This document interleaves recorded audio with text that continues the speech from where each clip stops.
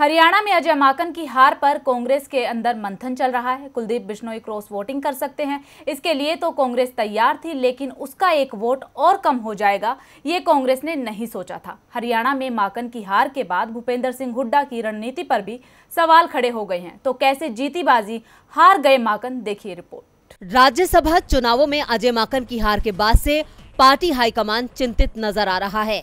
चिंता इसलिए क्योंकि कांग्रेस के पास माकन को जिताने के लायक वोट थे, लेकिन फिर भी वो हार गए।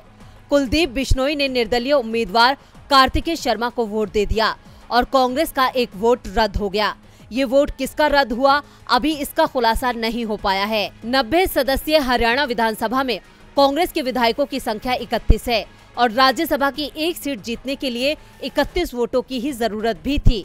लेकिन जैसे ही ये साफ़ हुआ कि निर्दलीय विधायक बलराज कुंडू ने वोटिंग का बहिष्कार करने का फैसला कर लिया है और उन्होंने वोट नहीं डाला है तो राज्यसभा चुनाव के समीकरण भी बदल गए।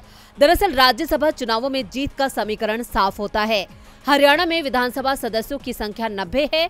राज्यसभा चुनावों में एक विधायक के एक वोट की कीमत सौ मानी जाती है। इस तरह वोट की वैल्यू सौ गुणा नब्बे, यानी नौ हज़ार होती है। दो सीटों का चुनाव था ऐसे में एक उम्मीदवार को जीतने के लिए वोटों की ज़रूरत का जो फार्मूला, वो भी साफ़ है।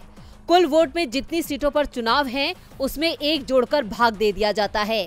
हरियाणा में वोटों की संख्या 9000 है और सीट दो इसमें एक जोड़ा जाएगा तो तीन हो जाएगी और 9000 में तीन का भाग देने पर संख्या आती है 3000 लेकिन हरियाणा में एक वोट रद्द हो गया और बलराज कुंडू ने वोटिंग नहीं की, जिस कारण से ज़रूरी वोटों की संख्या दो रह गई।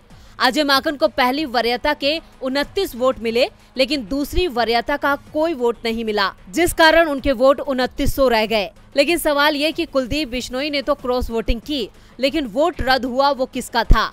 हरियाणा में कांग्रेस के 31 विधायकों में से 24 हुड्डा समर्थक हैं, जबकि पाँच कुमारी शैलजा के समर्थक हैं। इसके अलावा किरण चौधरी और कुलदीप बिश्नोई का अपना अलग ही गुट है। ऐसे में अब ये सवाल है कि रद्द वोट किस गुट का था? क्या माकन की हार कांग्रेस की गुटबाजी के चलते हो गई। डीबी लाइव की रिपोर्ट।